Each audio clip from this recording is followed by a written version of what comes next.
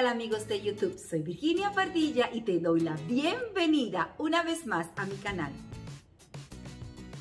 En el video de hoy voy a hablarles de aprender a recibir amor. Muchas veces estamos tan acostumbrados a dar amor, a dar afecto, a dar cariño, que nos cuesta a nosotros recibir el afecto y el cariño de los demás.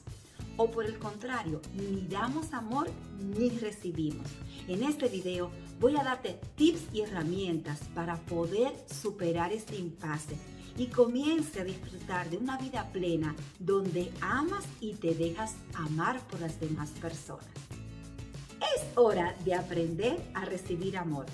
Cuando a veces se nos dificulta recibir amor, muchas veces puede ser por experiencias previas que son negativas o una pérdida o un fallecimiento, un alejamiento o un distanciamiento, ya sea porque la persona o el ser querido se ha mudado a otro espacio, a un lugar mucho más lejano, porque la circunstancia de la vida diaria, de la vida cotidiana, te ha alejado de esa persona que amabas y que querías o porque te entregaste, permitiste sentir esa sensación de amor, de protección y de cariño y después sentiste que fue lacerado, que fue traicionado.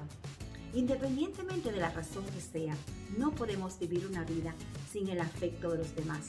Todos somos seres humanos que necesitamos dar y recibir afecto.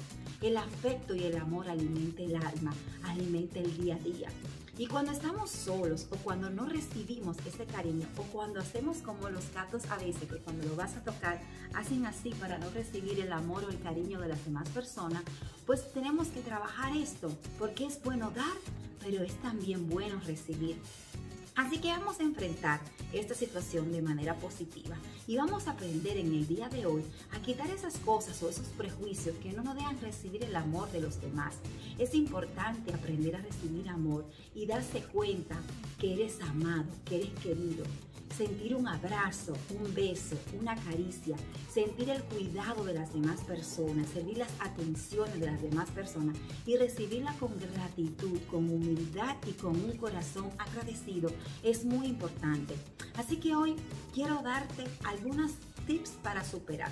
Lo primero es que tienes que confiar en la gente. Muchas personas no reciben el amor de los demás y otras veces no lo dan también porque desconfían de las otras personas no sienten que la demás persona esté dando un amor real, genuino y verdadero. Entonces dale oportunidad a esa persona que te quiere demostrar que te ama, que te quiere, que quiere hacerte manifestaciones de agradecimiento, de amor, así sean afectiva o con algún tipo de detalle. Permítele hacerlo, recíbelo con agrado, con confianza. Deja recibir ese te quiero, ese abrazo, ese beso, ese detallito que te van a dar, esas palabritas bonitas, esa atención o ese detalle que van a tener contigo en este día que te va a hacer sentir amada o amado.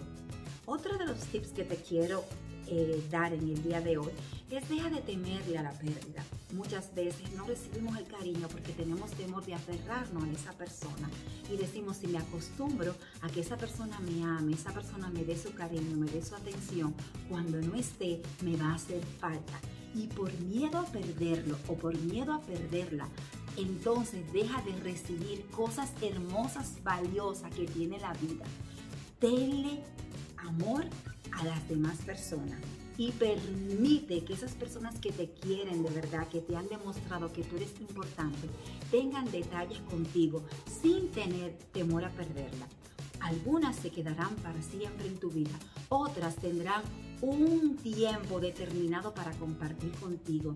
Pero por temor a perder a esa persona, no es justo que deje de disfrutar el momento presente. Otras personas no aceptan el cariño, la atención de los demás porque no se aman a sí mismos. Cuando no te amas a ti mismo y cuando no eres capaz de valorarte y amarte, pues se te dificulta recibir el amor de los demás, porque no puedes recibir lo que no tienes ni puedes dar lo que tampoco tienes. Entonces, ámate primero a ti mismo, valórate y cuando tú te valores, tú vas a sentir que sí, soy tan valiosa, soy tan valioso que merezco el amor, el detalle que esa persona me está dando. Lo merezco porque tengo todas esas cualidades que atraen a esa persona para tener esos detalles para conmigo. Muchas veces no aceptamos los detalles porque no dejamos que el amor fluya. No lo bloquees, no bloquees la intención de otra persona de amarte, de cuidarte, de darte atención, de darte detalle. Acéptalo con humildad y comienza a disfrutar de ese amor que los demás te quieren dar. Deja un poquito el orgullo. Muchas veces no aceptamos esos detalles porque somos tan orgullosos que ni siquiera queremos admitir que el amor nos hace bien, que el amor nos alimente el alma, que el amor nos llena el corazón, que el amor nos da energía y que el amor nos da fuerza para continuar caminando. Ten cuidado con esas voces pesimistas que están en nuestro interior, que están en nuestra sociedad, donde dicen que ya nadie tiene amor verdadero, que nadie ama desinteresadamente, que nadie da una muestra de amor sin esperar algo a cambio.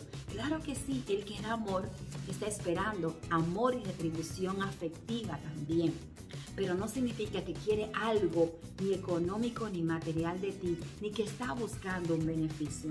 No todo el mundo es igual. Y así como hay personas que quizás te están dando manifestaciones de amor con algún tipo de interés, también hay muchas otras personas que te están dando esa manifestación de amor, de cariño, porque se ha dado cuenta lo valioso o lo valiosa que tú eres. Acéptalo con humildad.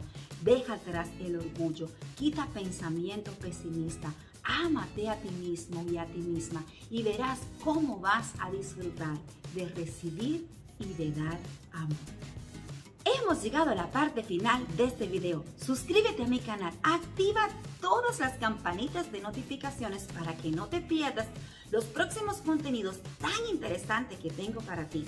Dale me gusta, comparte con tus amigos, escríbeme o déjame aquí tus comentarios y hasta el próximo video.